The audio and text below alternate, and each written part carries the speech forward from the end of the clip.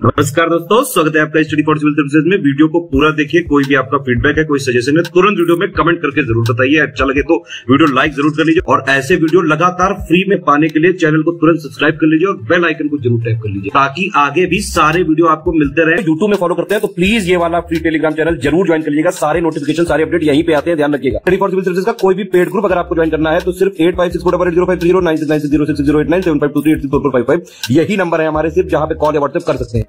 Instagram पे हमारा page ज़रूर फॉलो कर लीजिएगा। Study for civil dot services है। ट्विटर पे हमको ज़रूर फॉलो कर लीजिएगा। At the rate study for civils है। सारे क्वेश्चन अटेम्प्ट करिए और स्कोर अपना तुरंत कमेंट करके बताइए। दोस्तों, नमस्कार। स्टडी फॉर सिविल सर्विसेज़ में आप सभी का स्वागत है। जूनियर असिस्टेंट एग्ज़ाम जो आपका अपकमिंग है, उसके लिए हम पेड क्विज लगातार देख रहे हैं। अगला वीडियो यहाँ पे देख लेंगे। आपसे पूछा गया क्वेश्चन में कि जैसे आपके घरों में पुताई होती है, ठीक है तो सफ़ेदी की गई दीवारें तीन चार दिनों के बाद, इसमें से क्या बनने के कारण चमकदार दिखाई देने लगती हैं, ठीक? तो जैसे अब तो तमाम तरह के पेंट आ गए, लेकिन पहले जो चूने से खास करके पुताई की जाती थी दीवारों की तो उसमें क्या होता है, देखिए, ठीक है, कैल्शियम हाइड्रोक्साइड होता है, ठीक? तो उसकी पुताई हमने दीवार पे की तो धीरे धीरे वो क्या होता है कि दीवार के ऊपर एक पतली कोटिंग कैल्शियम कार्बोनेट की जो है वो डेवलप हो जाती है। क्यों होती है?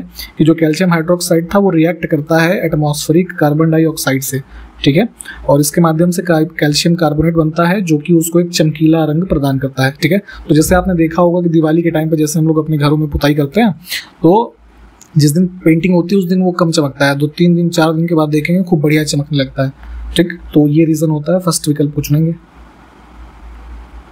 कृषि लागत और मूल्य आयोग की सिफारिशों के आधार पर भारत सरकार का कौन सा विभाग न्यूनतम समर्थन मूल्य तो फ़सलों के लिए जो एमएसपी है ना, इशू की जाती है क्रॉपिंग सीज़न से पहले, इसको डिक्लेयर करने वाला जो हमारा विभाग है भारत सरकार का, कृषि और सहकारिता विभाग, ठीक है, विकल्प बी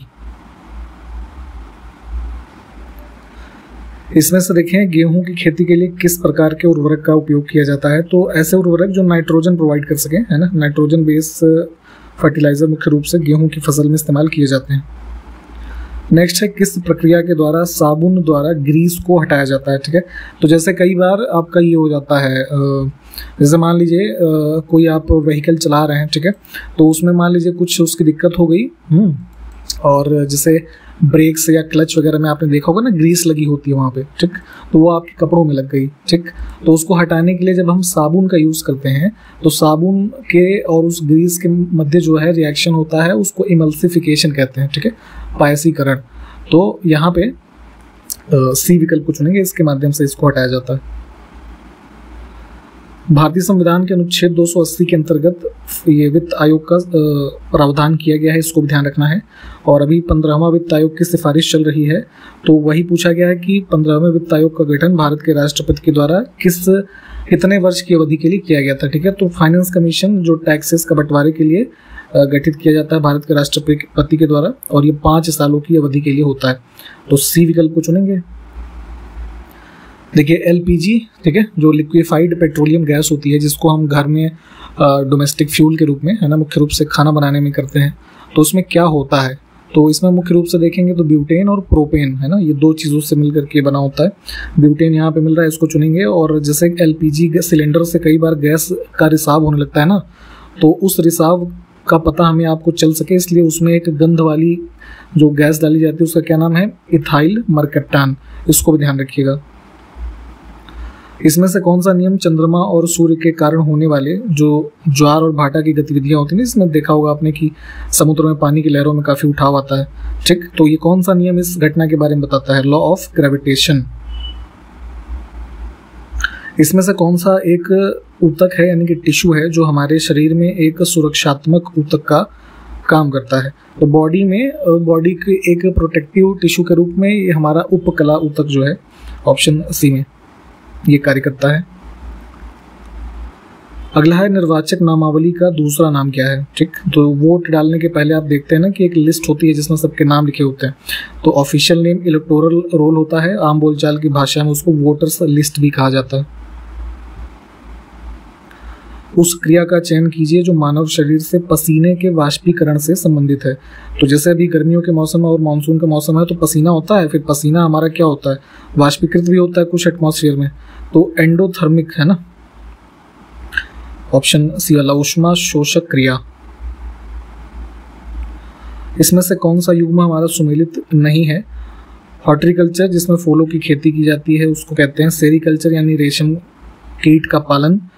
ठीक है? और एपीकल्चर जिसमें मधुमक्खी पालन तो तीनों ही सही हैं, ठीक है? इनके नाम ध्यान रखिएगा। यहाँ पे जो भी सब्ज़ियाँ हमारे पास लिखी हुई हैं, उसमें विटामिन सी सर्वाधिक मात्रा में किसमें पाया जाता है? तो खास करके खट्टे फलों में और जैसे ये मिर्च हो गया तो मिर्च में इनमें सबसे ज़्यादा हमें विटामिन सी मिलेगा। एंटीऑक्सीडेंट बेसिकली होता है ना विटामिन सी तो एंटी मिर्च खाने से भी एंटीऑक्सीडेंट मिलता है आपको सबसे ज़्यादा तो इसको ध्यान रखेंगे। इनमें से कौन सा ऑप्शन जो है, जंतु कोशिका में अनुपस्थित होता है, ठीक है? तो जैसे प्लांट सेल और एनिमल सेल तो जैसे हम मानव किसमें आते हैं? एनिमल सेल के एग्जाम्पल्स में। तो पौधे में और एनिमल सेल में देखेंगे तो एनिमल सेल में क्या होता है कि सेलुलोज की सेल वॉल नहीं होती, ठीक है? हमारी जो कोशिकाएँ होती हैं, उसमें सेल वॉल की अनुपस्थिति होती है एनिमल सेल में, इसको ध्यान रखेंगे। बाकी के जो दो विकल्प हैं, ये सब पाए जाते हैं। इसमें से किस तत्व की कमी से मानव शरीर का विकास धीमा हो जाता है? तो ह्यूमन बॉडी का ग्रोथ जो रुकता है प्रोटीन की कमी से रुकता है। इसीलिए कहा जाता है कि प्रोटीन वगैरह ज़्यादा खाइए, है ना? तो जैसे दाल वगैरह हो गया, इसलिए इन सबको अपने डाइट में हम लोग इंक्लूड करते हैं।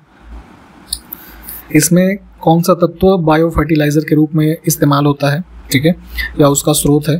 तो जैव उर्वरक होता है अजोला। ठीक। मानव शरीर में प्रोटीन का पाचन किस अंग में शुरू होता है? तो प्रोटीन का डाइजेशन स्टार्ट होता है आमाशय से, स्टमक।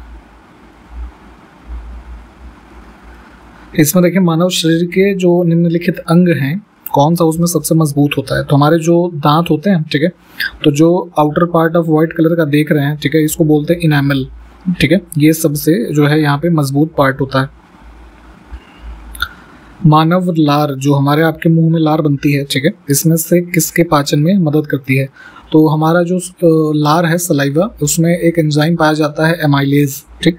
जो कि इसके स्टार्च जो होता है, ठीक है? जो हमें खाद्य पदार्थों से प्राप्त होता है, इसको ब्रेक डाउन करने में, है ना? मतलब कि डाइजेस्ट करने में हेल्प करता है। इसको बेसिकली क्या होता है कि स्टार्च को ब्रेक डाउन करता है सिंपल छोटे पार्टिकल कह लीजिए, है ना? और कन्वर्ट करता है उसको शुगर में, फिर वो एब्जॉर्ब होती है हमारे बॉडी में, ठीक?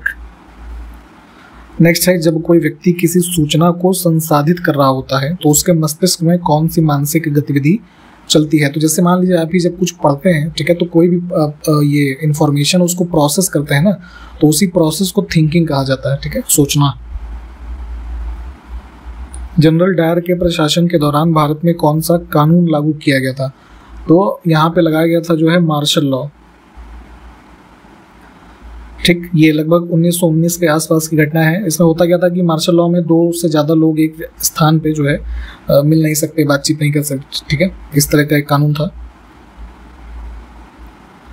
अगला है एक अलग आयोग के रूप में राष्ट्रीय अनुसूचित जनजाति आयोग किस वर्ष से अस्तित्व में आया? तो पहले जो National Commission for Schedule Caste और शेड्यूल ट्राइब ये दोनों एक ही में थे ठीक है? तो इनको अलग किया गया और उसके माध्यम से जो अनुसूचित जनजाति आयोग है, ये बना हमारा 2004 में।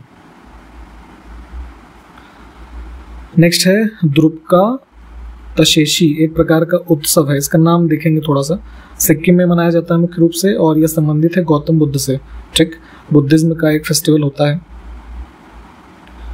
उस नदी को चुनना है जिसका उद्गम महाराष्ट्र में त्रयंबकेश्वर एक जगह है, यहाँ से होता है। ठीक? तो ये है हमारी गोदावरी रिवर हमारे देश का जो सेंट्रल बैंक है रिज़र्व बैंक ऑफ़ इंडिया ठीक है? तो इसी ने ही अप्रैल उन्नीस तक इनमें से किस देश के लिए केंद्रीय बैंक के रूप में भी कार्य किया? तो देखिए आरबीआई हमारा बना कब था, ये जानिएगा 1935 में, ठीक है? अप्रैल 1935 से और उस समय क्या था कि जो ये वर्तमान म्यांमार है, उसको पहले बर्मा के नाम से जानते थे। तो ये भी भारत का अंग होता था। ठीक है? तो ब्रिटिश टेरिटरी का एक पार्ट होता था तो यहाँ पे बर्मा के सेंट्रल बैंक के रूप में भी आरबीआई ने उन्नीस अप्रैल तक कार्य किया है, ठीक?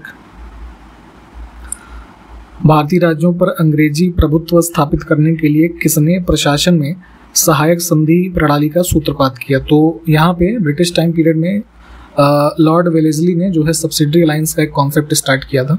ऑप्शन डी को चुनेंगे, ठीक है? जो राज्य सब्सिडरी अलायंस में आते थे तो उनमें उनको जो है ये ब्रिटिश फोर्स जो है, उनको अपनी टेरिटरी में उसको एक्सेप्ट करना पड़ता था और उनका ब्रिटिश आर्मी का जो मेंटेनेंस था, वो भी उनको करना पड़ता था। थोड़ा इसको डिटेल में पढ़िएगा। अगला है, उत्तर प्रदेश में परंपरागत भूमि मापन की इकाई क्या है? ज़मीन को मापने की जो हमारे यहाँ जैसे एक ऑफिशियल आंकड़ों के हिसाब से एकड़ को हम पढ़ते हैं, ठीक है? लेकिन जैसे उत्तर प्रदेश में हमारे यहाँ है तो ये बीघा, है ना? उसके टर्म में हम नापते हैं। तो एक बीघा में जैसे कई जगह पे बीस, बीसवा होता है तो ऐसे यूनिट्स में हम जमीनों को मापते हैं। अगला है निम्नलिखित राज्यों में से कौन सा ट्यूबवेल सिंचाई के क्षेत्र में सर्वोच्च है? तो ट्यूबवेल से सबसे ज़्यादा सिंचाई पूरे भारत में कहाँ होती है? उत्तर प्रदेश में। Indian Institute of Vegetable Research किस ज़िले में स्थित है? तो संस्थानों की सूची एक बार पढ़ के जाइएगा, ज़रूर आपसे कुछ न कुछ पूछा जाएगा। तो सब्ज़ी जो शोध संस्थान है, वाराणसी में है। उत्तर प्रदेश के किस क्षेत्र में अन्ना प्रथा, ठीक है? उस क्षेत्र की कृषि एवं वानिकी के लिए, वानिकी के विकास के लिए अभिशाप है। तो यहाँ पे देखेंगे हमारा जो ये झांसी, ललितपुर, ये सब वाला जो बुंदेलखंड का रीजन है, ठीक है? यहाँ पे क्या होता है कि जैसे मुख्य रूप से गाय, है ना? या अन्य जो मवेशी हैं, जब दूध देना बंद कर देते हैं तो वहाँ के लोग क्या करते हैं उनको ऐसे खेतों में छोड़ देते हैं। ठीक, खेतों में, जंगलों में कह लीजिए। तो वहाँ क्या होगा कि उनके द्वारा उस खेत का नुकसान होगा ना, उसमें वो चर लेंगे या उसमें वो ज़्यादा चलेंगे तो मिट्टी खराब होगी, ठीक है? तो वहाँ पे एग्रीकल्चरल प्रैक्टिस जो हैं, उसको नुकसान होता है इस अन्ना प्रथा से। तो अन्ना प्रथा, आप जान गए होंगे क्या है? तो कहाँ होती है? बुंदेलखंड में और इसकी वजह से जो वहाँ का कृषि एवं वानिकी क्षेत्र है, उसका विकास पर प्रभाव पड़ता है। उत्तर प्रदेश में सर्वाधिक प्रतिशत कर्मचारी इसमें से किस क्षेत्र में नियोजित हैं? तो देखेंगे, सबसे ज़्यादा एम्प्लॉयमेंट अगर कोई सेक्टर हमारे यहाँ उत्तर प्रदेश में कार्यरत है, उसमें लोग तो एग्रीकल्चर है, ठीक है? सरकारी नौकरी भाई इतनी है नहीं इंडस्ट्रीज़ हमारे यहाँ पे है नहीं इतनी तो मैक्सिमम लोग खेती पे ही तो आश्रित हैं। अगला है Indian Grassland and Fodder Research Institute है ना? एक चारा संस्थान है ये फ़ेमस इसमें झांसी में, उत्तर प्रदेश के झांसी ज़िले में। उत्तर प्रदेश की प्रमुखतम तिलहनी फ़सल कौन है, ठीक है? तो पूरे उत्तर प्रदेश में देखेंगे तो जो ऑयल सीड क्रॉप जिसका ज़्यादा सबसे प्रोडक्शन होता है तो ये सरसों तथा राई। उत्तर प्रदेश का कौन सा जनपद दशहरी आम का सर्वोच्च उत्पादक है? दशहरी आम काफ़ी पॉपुलर है, देखेंगे। तो सबसे ज़्यादा जैसे ये मलिहाबाद वगैरह है ना, लखनऊ में, ये काफ़ी पॉपुलर है तो ये करेक्ट हो जाएगा हमारा। अगला है निम्नलिखित में से उत्तर प्रदेश में किस फ़सल चक्र का क्षेत्रफल अधिक है? तो हमारे यहाँ देखते हैं ना कि जैसे अब सबसे ज़्यादा किसका प्रोडक्शन होता है? गेहूँ और चावल का, ठीक? तो पूरे वर्ष भर देखेंगे तो इनके ही एरिया सबसे ज़्यादा हमें क्रॉपिंग साइकिल में मिलेंगे। अब रीजनिंग के कुछ क्वेश्चंस को देखेंगे। हमारे पास कुछ शब्द लिखे हैं, उसको अर्थपूर्ण क्रम में व्यवस्थित करना है। तो किसी भी चीज़ का बीज, ठीक है? उसके बाद क्या होगा? एक बीज से कोपल निकलती है, ठीक है? ऐसे छोटे छोटे देखे होंगे आपने पार्ट्स स्प्राउट उसको बोलते हैं। अंकुरण जैसे चना भिगोते हैं रात को तो उसमें सुबह ऐसे वाइट निकलता है, वही अंकुरण होता है। तो ये हो गया तो मतलब दो नंबर फिर क्या आएगा हमारा? नवांकुर, है ना? तो जो और उससे बड़ा होता है पार्ट उसको नवांकुर सीडलिंग कहेंगे। फिर आएगा हमारा क्या? इससे पेड़ बनेगा। नहीं सॉरी ये पौधा बनेगा, ठीक है? यानी कि तीन। तो चार, दो, पाँच, तीन, हमारा ये देखिए बी वाला उत्तर बन जाएगा।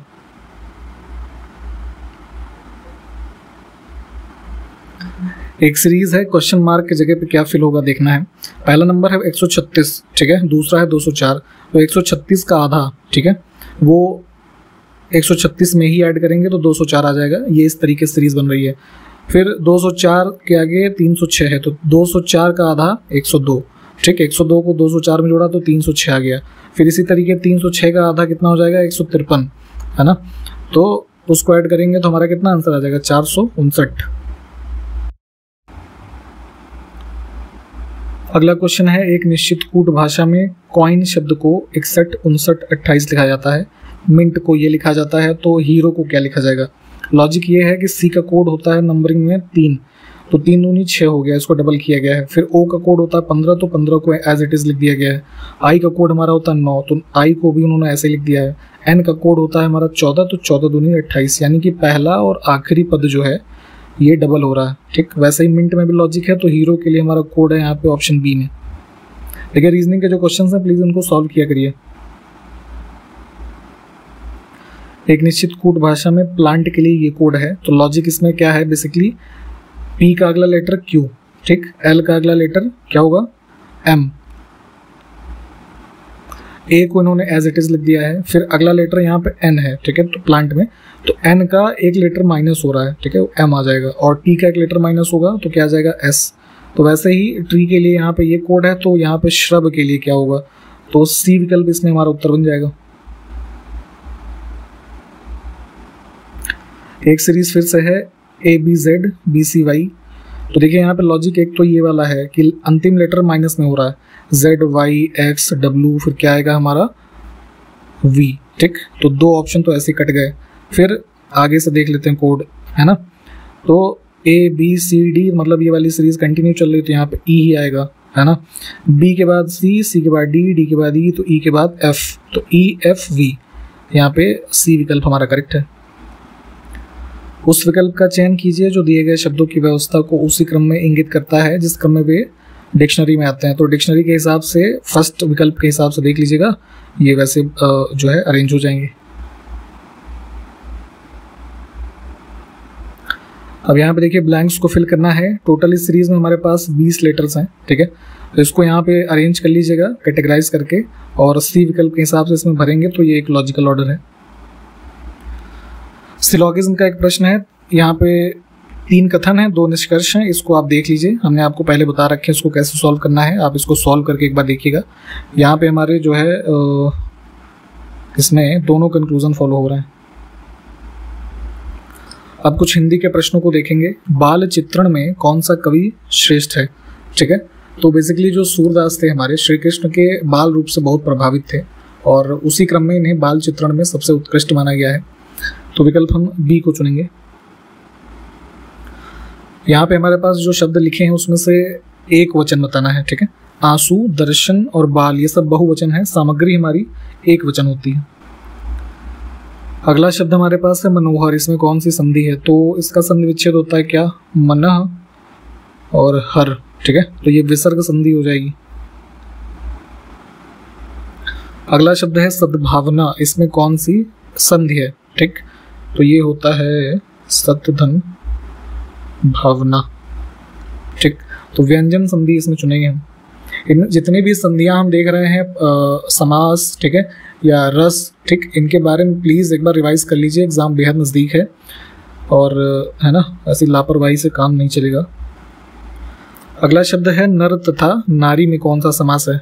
ठीक तो यहाँ पे जैसे नर और नारी में क्या हो रहा है? दोनों हमारे जो पद हैं वो प्रधान है, ठीक? तो इस प्रकार के हमारे जो युग्म शब्द होते हैं, कह लीजिए, द्वंद्व समास होता है इसमें। जैसे माता पिता नर, नारी, है ना? तो यहाँ पे ये इसका एग्ज़ाम्पल हो जाएगा। अगला देखें, हिंदी किस भाषा परिवार की भाषा है, ठीक है? वर्तमान हिंदी जो आप बोलते हैं, ठीक? तो यहाँ पे भारूपीय जो हमारा एक कैटेगरी बनी है, ठीक? तो ये देखेंगे विश्व का सबसे लगभग बड़ा भाषा परिवार माना जाता है, जिसमें जैसे हिंद यूरोपीय कई भाषाएँ इसमें शामिल हैं, जैसे कि हिंदी, उर्दू, अंग्रेज़ी, फ्रांसीसी, जर्मनी है ना, ये सभी इसी कैटेगरी में आती हैं तो ध्यान रखिएगा इसको। थोड़ा इसके बारे में चाहें तो डिटेल में पढ़ सकते हैं। अब इसमें हमको जातिवाचक संज्ञा बताना है, ठीक? तो एक ही जो है शब्द से, है ना, उस जाति या कह लीजिए उस प्राणी वर्ग के सभी वस्तुओं का जो बोध होता है तो उसमें आप जातिवाचक संज्ञा कह सकते हैं उसे। तो यहाँ पे जैसे नदी शब्द है, ठीक? तो सारी नदियों का भाव उससे हमें मिलता है तो नदी को हम चुनेंगे। इसमें देखें, लिंग कितने प्रकार के होते हैं, ये बताना है। तो जैसे इंग्लिश में आप जेंडर पढ़ते हैं, ठीक? तो अब यहाँ पे देखिए दो चीज़ें हैं। हिंदी भाषा की अगर हम बात करें तो उसमें दो प्रकार के लिंग माने जाते हैं, पुलिंग और स्त्रीलिंग। ठीक है? लेकिन वहीं पर जैसे इसमें हम संस्कृत में देखते हैं तो वहाँ पर नपुंसक लिंग को भी पढ़ा जाता है। तो ये क्लासिफिकेशन थोड़ा ध्यान रखेंगे। यहाँ पर फ़िलहाल हम दो को चुन के आगे बढ़ेंगे। इसमें से शुद्ध वर्तनी का चयन करना है। आविष्कार किसी वस्तु का होता है, आप जानते हैं पहली बार। ठीक? तो उसको किस प्रकार से आविष्कार को शुद्ध रूप से लिखेंगे? तो विकल्प बी में जो लिखा है, ये सही होगा। एक शब्द है हमारे पास, विधि। ठीक? इसका विलोम बताना है। तो विधि मतलब कि कानूनी रूप से या फिर किसी भी चीज़ का एक व्यवस्था है ना, एक ढंग हो, एक प्रणाली हो, उसको विधि कहते हैं, ठीक है? यानी कि जिस चीज़ की करने की अनुमति दी जा रही है। लेकिन वहीं उसके विपरीत निषेध वर्ड जो होगा, यानी कि वैसा कुछ करने के लिए मनाही हो, ठीक? तो विधि का विलोम हमारा निषेध होता है। अगला शब्द है स्वतंत्र, इसका विलोम बताना है, ठीक है? स्वतंत्र मतलब आप आज़ाद हैं, अगर आप किसी के अधीन हैं, ठीक है? तो आप मतलब गुलाम हो गए तो उसके लिए हम परतंत्र शब्द को इस्तेमाल करते हैं। अगला शब्द हमारे पास है, एक शब्द बताना है किसके लिए? जो कहा न जा सके, ठीक है? ऐसी कोई बात जिसको व्यक्त न कर पा रहे हो आप, है ना? कथन उसके बारे में न बना पा रहे हो। अकथनीय, है ना? उसको कहेंगे हम, विकल्प सी अगला शब्द है हमारा निर्वासित, इसमें प्रत्यय बताना है। मूल शब्द हमारा इसमें क्या है? निर्वास, ठीक? तो निर्वासित तो इत प्रत्यय इसमें लगा हुआ है। अगला है जलज शब्द किस प्रकार का शब्द है? ठीक तो देखिए जल धन ज इससे बन कर मिल करके बना है जलज जो कि है ना कमल के बारे में भी इसको हम इस्तेमाल करते हैं। तो होता हो क्या रहा है? आ, ऐसे शब्द जो दो या दो से अधिक शब्दों के योग से बने होते हैं तो योग रूढ़ शब्द हम उन्हें कहते हैं जो किसी अन्य शब्द का बोध कराते हैं हमें ठीक? तो विकल्प सी को चुनेंगे।